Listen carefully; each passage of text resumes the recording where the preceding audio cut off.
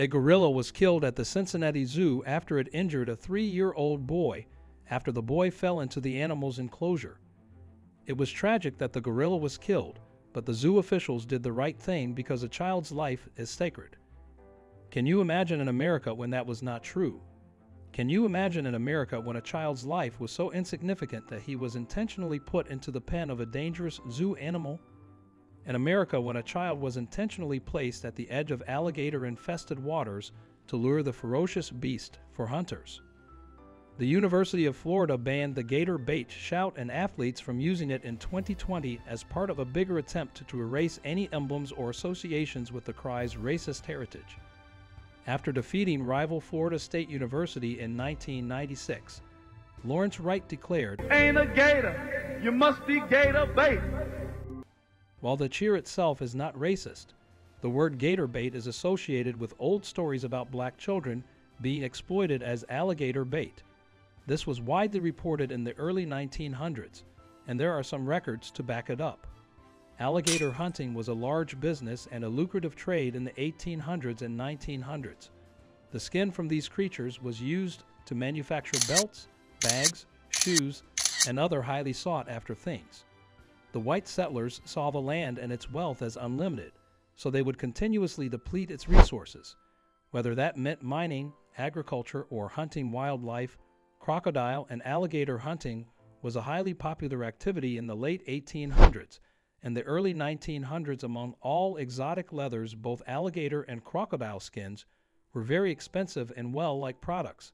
But the only way to get these skins was to hunt wild animals and since the demand for the raw material went up the rich were willing to pay good money for it this meant more and more people were eager to take the deal rifles muskets and shotguns were common weapons in the 19th century. I'm not referring about the fast loading, quick shooting weapons of today.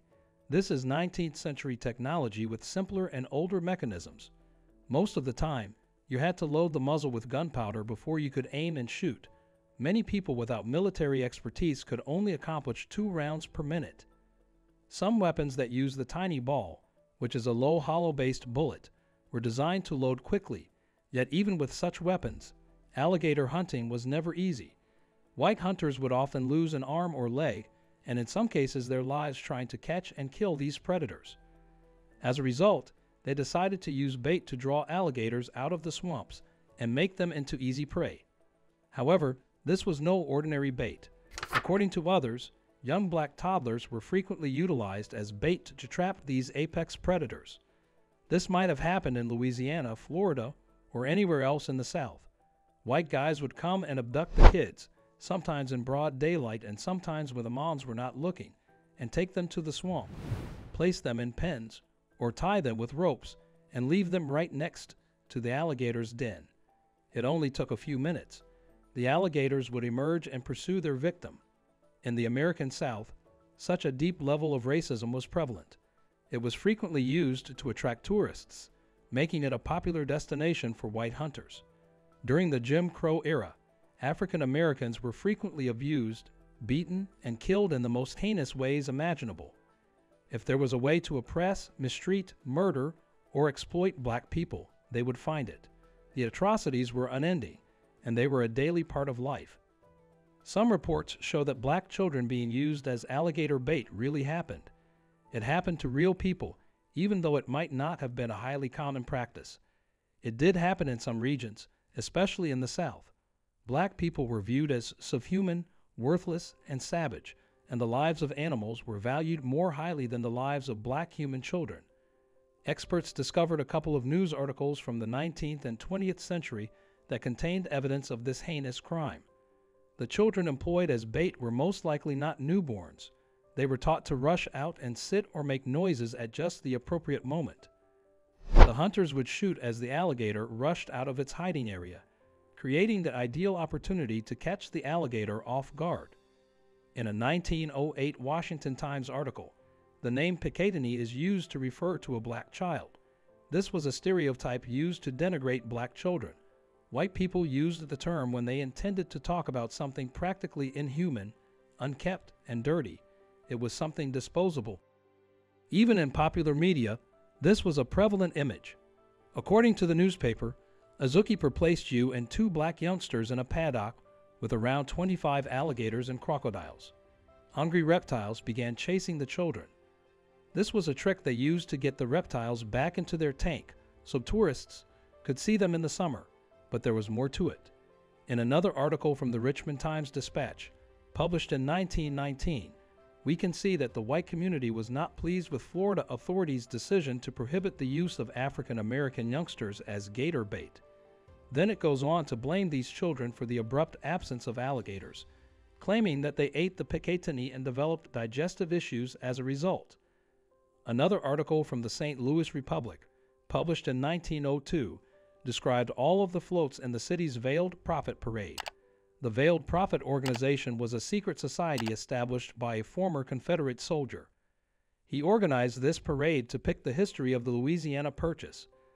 Articles were not the only type of information that would cover the horrible imagery of alligator baits. Postcards, branding, posters, and mementos are all examples of the same phenomenon. These postal cards were the equivalent of text messaging at the time. They were inexpensive and practical to produce allowing them to reach a wide audience at the time. They were intended to be mailed as commercial advertisements.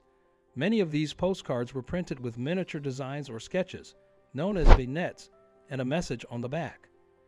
Initially, the cards were only available in black, but as time passed, they became increasingly available in color. At the period, store shelves were adorned with ornamental artifacts. These antiques are brightly colored and intricately designed, and they don't shy away from America's horrific past. Many of these artifacts can be seen in the Jim Crow Museum of Racist Iconography. This was a system that was built on itself to build and maintain a society trapped in a vicious circle of racial hierarchy. Popular rhymes and melodies also incorporated gator bait. Take, for example, Henry Wise and Sidney Perrin's lullaby, Mammy's Little Alligator Bait, which was released in 1899. The lullaby instructs readers on how to sing and play a tune about gator bait. The lyrics are straightforward and easy to understand, and the music appears to be simple to master. Here's another one. This time, it's a poem, describes how a white hunter can't find a standard bait to catch a crocodile. But there are some black children playing around which can serve as the perfect replacement. He can place the child on a hook and lever to dangle over the swamps. The hunter waits, and the tilting bait does its job and then swoops in for the kill. The white community could normalize their harmful and negative perceptions. It was used to convince people that these children had no rights and didn't deserve the respect. It was a way of normalizing and promoting behavior that would deny them basic human rights and dignity. Now, these stories about gator bait without a doubt reveal a deeply disturbing racism that was widespread in the American South, but many people believe that it is very unlikely that this thing actually happened. Although alligators can eat humans, they prefer to eat small mammals, snakes, turtles, rough fish, and birds. Given the choice, they would hunt for prey that's readily available. Furthermore, children of African American origin were still valuable, so it would be absurd to take them to a swamp and tie them up in order to attract alligators. The owner would still value these children. They are not cheap. Will a slave master desire a disabled worker? A chicken would be a superior bait because it is inexpensive and effective. But when we consider lynchings, breeding farms, and other atrocities against black people, it's easy to see how the bait stories are just another part of our terrible history. So I believe the Gators stories are true. White folks didn't want more black people born in their neighborhoods. So they would see this as a simple method to achieve what they want to make a point in times like this, where there would be no consequences.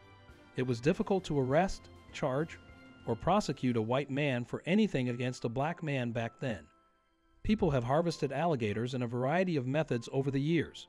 For good reason, the concept of alligator bait is difficult to grasp. Nobody wants to see children slain, but no one believes that alligator bait was a frequent practice.